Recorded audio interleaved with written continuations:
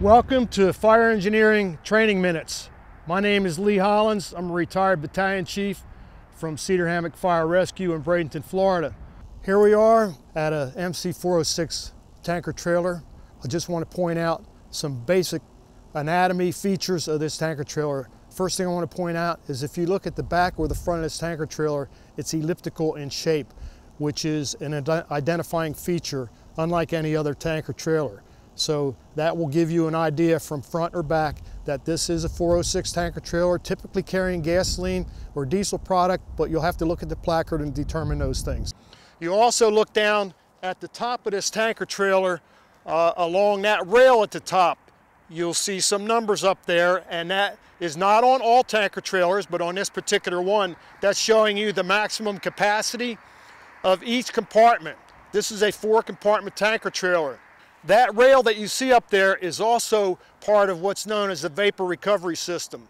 And what that is, is that when a tanker trailer is offloading fuel into an underground tank, the vapors of that tank are pushed back out and it's going to go through a hose that's connected to that tank and it's going to go back into this tanker trailer via that hose and this vapor recovery system, which uh, part of that is this connection you see at the corner here and you see that pipe going up the back of the tanker trailer. So that connects to that rail and that is all part of collecting those vapors so that they're not out into the atmosphere.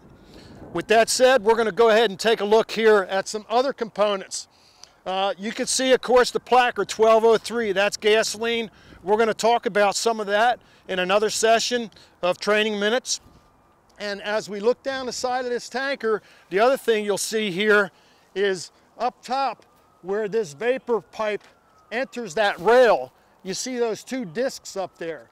What they are is that's a negative pressure and a positive pressure relief valve. One is one, one is the other. What that means is this is a low pressure tanker trailer. So it's, it's designed for 2 psi or less. And if the pressure inside that tank increases above 2 psi, that relief valve will just let out some of that vapor uh, to keep that pressure low. On the other side, if this tanker trailer, let's say the, uh, the gasoline that is loaded into this tanker trailer is a warm product and this is in a northern climate, going out into the cold and that pressure starts to diminish and gets less, it will allow air into the tank so that that tank won't collapse because this tank is made of aluminum, single wall aluminum. So that's what those two things are. Now you may not see those on every tanker trailer and I want you to know that there's exceptions to most rules here with these features and so forth. But if it's not uh, visible as you see here, there's going to be another system within that rail or the dome covers at the top that will allow for this pressure to regulate itself so that's what that's all about. As we come down the side of the tanker here, you can see that the various hoses are carried on the side here up top. And as a general rule, the larger hose, when they're delivering product, is going to be liquid, and the smaller hose is going to be vapor. So that's, that's the way that works. The, the black hose you see is a high pressure hose, and that is used when they actually have to pump, they being the operator, has to pump gasoline from this tanker to an above ground tank. So that's a rated pressure line right there. So there's two, uh, three types of lines. There's your liquid line, your vapor line, and then a pressure line. That's typical for one of these gasoline tankers. This, this compartment here that you see, the large compartment, that's typically for fittings and cones and safety uh, items with this tanker trailer. And then as we move along here, these are known as the external valves. So of course, this is what the hoses connect to. And this is part of the vapor system. And this is part of the vapor system here.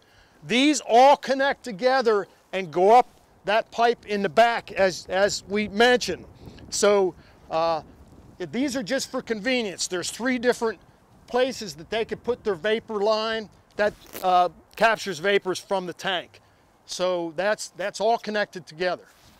As we move down here, this is your, your valve box right here.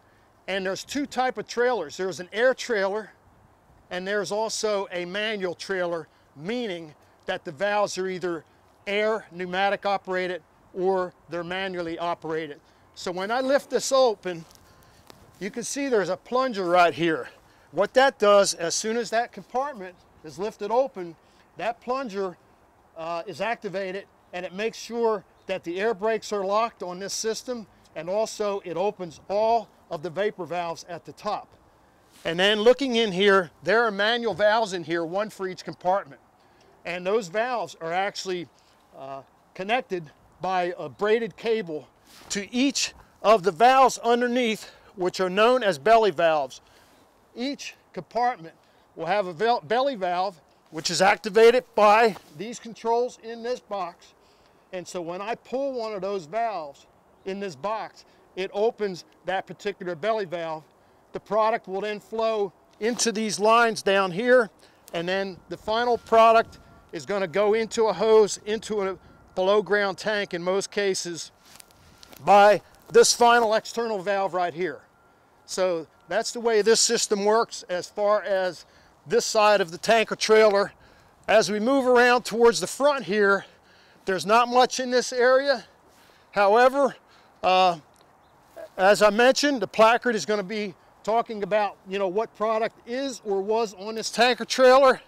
Moving around here, again, not a whole lot for us to be concerned with. However, here is a critical component of this tanker. This is the emergency shutoff right here. So there may be various types of shutoff valves, switches, whatever, but it will always be at this left front corner of the tanker trailer. That's going to be critical because that will shut off all of those belly valves and stop the flow of product.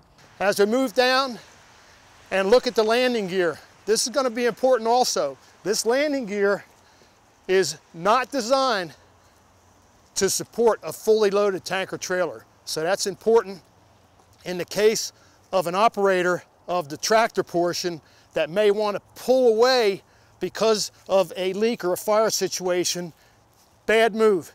It's, it's not designed to support a fully loaded tanker trailer. So that's just the basic anatomy of this tanker trailer. In future sessions of training minutes, we're going to look in detail at some other components of the tanker. With that said, this is Leigh Hollins. Thank you for watching Fire Engineering's Training Minutes.